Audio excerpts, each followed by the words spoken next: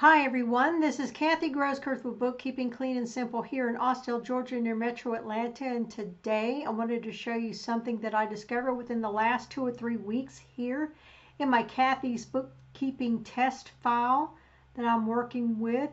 Now as you can see I'm in the banking tab and I actually have three accounts connected, a Fidelity Rewards Visa, an LGE checking and an LGE savings and this is a credit card this is the checking account and as you probably figured out that I pay down the credit card using the LGE checking. So with that in mind let's go down here and look.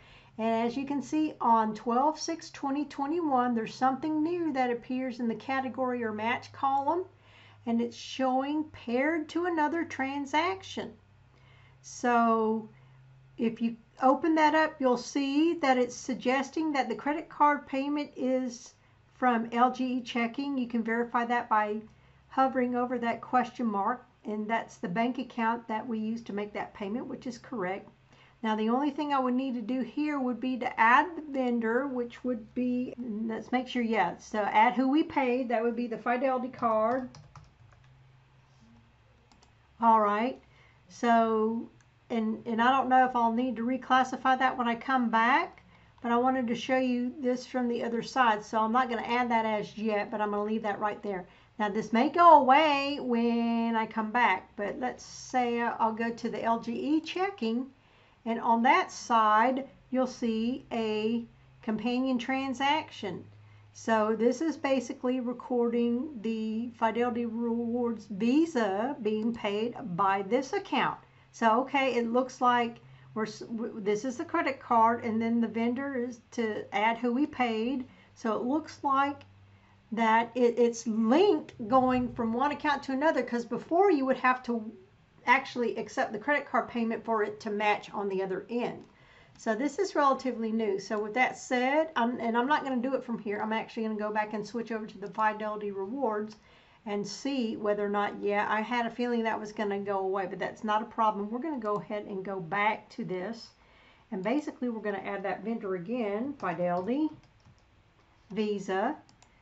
And I have not used this as yet, but what I'm hoping that this will do, or thinking that this will do, is once I add this transaction to the register, it will automatically add it on the other end. So we're going to record it as a credit card payment, and I'm going to go ahead and click Add Here.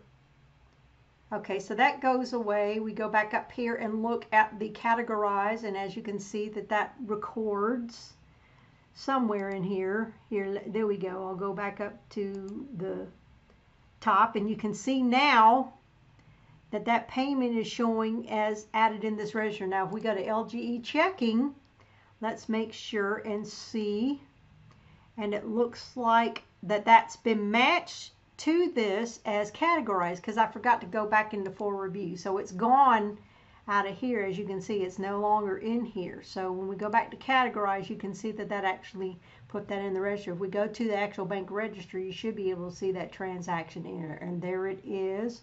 And let's look at it on the side of the banking. We'll go back to the Fidelity Rewards and look at the register there.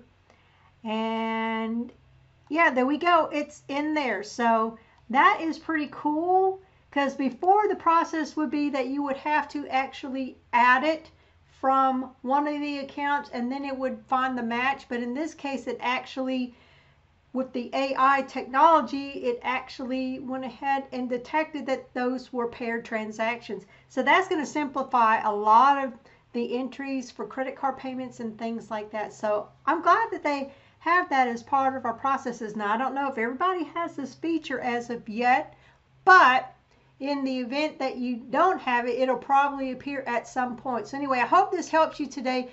Y'all have a wonderful day, everyone. Take care, and we will see you soon. Thank you for watching.